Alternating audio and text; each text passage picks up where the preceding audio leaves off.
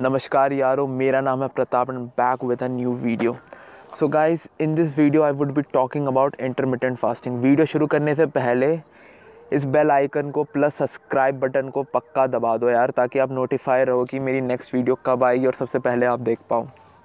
सो so, video शुरू कर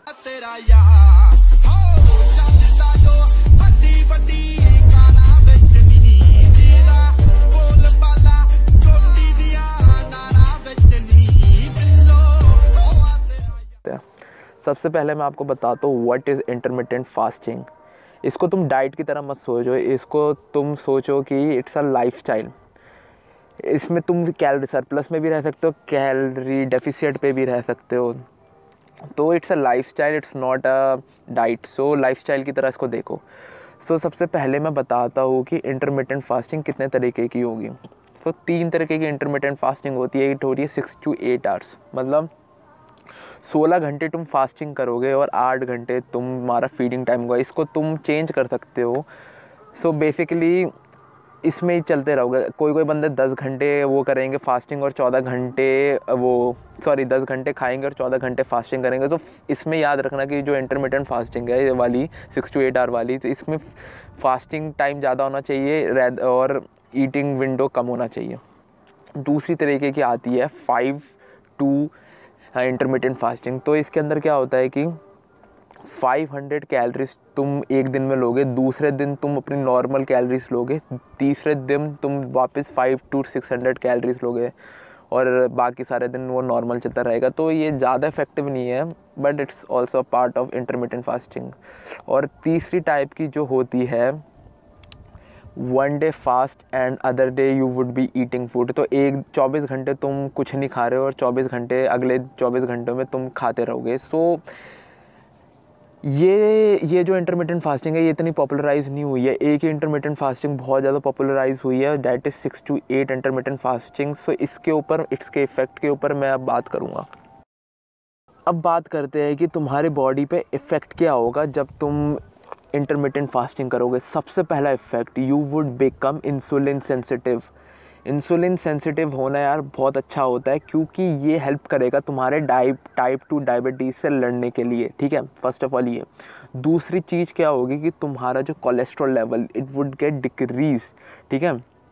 जो तुम्हारा जो कोलेस्ट्रॉल मतलब एलडीएल लेवल डिक्रीज़ होगा एचडीएल लेवल इंक्रीज़ होगा ये पूरी स्टडीज़ में फाउंड हो चुका है। और तीसरी चीज़, कोई और डाइट ये नहीं कर सकता मतलब कोई और डाइट क्या बोल रहे हो, कोई और लाइफस्टाइल ये ला ही नहीं सकती कि ये तुम्हारी ग्लाइकोजन तुम्हारा muscle glycogen liver glycogen utilise करेगा थ्रू आउट द डे क्योंकि 16 आवर्स अगर तुम फास्टिंग कर रहे हो, तुम्हारी बॉडी में कुछ होगा ही नहीं। ग्लाइकोजन लेवल पहले डिप्लीट हो जाएँगे, उसके बाद तुम्हारी बॉडी फैट यूटिलाइज करेगी फॉर द एनर्जी सो ये तीन मेन चीज़ है। जो इस लाइफस्टाइल को सुपीरियर बनाती है other diet plus other lifestyle से। तो गाइज़ अब मैं कंपैरिजन करूँगा ketogenic diet plus versus intermittent fasting ketogenic diet किसके लिए बनी है? मतलब कीटोजेनिक डाइट में करते क्या हो? कीटोजेनिक डाइट में बेसिकली तुम फैट खाते रहोगे, ठीक है? और तुम protein intake moderate to high रखोगे और काफ्स एकदम ज़ीरो टू या थर्टी ग्राम्स तक रखोगे। उसका बेसिक कंसेप्ट ये है कि उसके अंदर तुम फैट यूटिलाइज करोगे फॉर एनर्जी ठीक है? तो इसको तीन चार दिन लगेंगे तुम्हारे कीटोन बॉडीज़ प्रोड्यूस करने में, ठीक है? वो बात ख़त्म हो गई। अब इंटरमीडियंट फास्टिंग की बात करते हैं। इंटरमीडियंट फास्टिंग में क्या होता है कि तुम्हारा पूरा ग्लाइकोजन डिप्लीट हो जाएगा। छः घंटे के बाद तुम्हारी बॉडी में ग्लाइकोजन ही रहेगा नहीं, ठीक है? उसके बाद तुम्हारी बॉडी फैट सेल यूटिलाइज करेगी फॉर फॉर मेकिंग मतलब फॉर गेटिंग एनर्जी ठीक है? कीटोन बॉडी उसमें भी प्रोड्यूस होगी। तो अगर कंपैरिजन करेगी किसमें ज़्यादा कीटोन बॉडीज़ प्रोड्यूस होती है तो वो है इंटरमीडियंट फास्टिंग तुम कार पे खा रहे हो प्लस कीटोन बॉडीज़ भी प्रोड्यूस कर रहे हो. सो so, कंपैरिजन में मतलब स्टडीज़ भी फाउंड हो चुकी है कि किसमें ज़्यादा कीटोन बॉडीज़ प्रोड्यूस होती है that is intermittent fasting go for intermittent fasting so guys तुम कैसे इंटरमीडियंट फास्टिंग अपनी लाइफ में इंट्रोड्यूस करोगे? सो बेसिक कंसेप्ट याद रखना पहले स्लोली स्लोली तुम अपना फीडिंग टाइम डिक्रीज़ करना और स्लोली स्लोली अपना फास्टिंग टाइम इंक्रीज़ करना। पहले तुम 10 घंटे तुम ये फीडिंग टाइम रखो, फिर जो बच गए चौदह घंटे उसके अंदर तुम फास्टिंग करो। धीरे धीरे करना गाइस अचानक से अगर तुमने आठ घंटे ये फीडिंग टाइम रखा और सोलह घंटे फास्टिंग टाइम रखा ना तुम मैं हंड्रेड परसेंट श्योर रहूँगा कि तुम फेल हो जाओगे इस लाइफस्टाइल को अपनी लाइफस्टाइल में इंट्रोड्यूस करने के लिए। सो so, मैंने कैसे करा कि पहले दस घंटे मैंने द क्या कहते हैं फीडिंग टाइम करा ठीक है? और बाकी जो चौदह घंटे थे उसमें मैंने फास्ट करा। धीरे धीरे मैंने टाइम डिक्रीज़ करा फीडिंग का और फास्टिंग टाइम इंक्रीज़ करा।